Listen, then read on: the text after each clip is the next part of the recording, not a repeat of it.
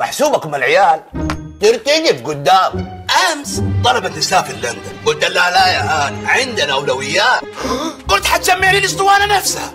إلا والاقيها فجرت الموضوع. تتشاطر تتفلسف تتفنن تتسخن كلامها.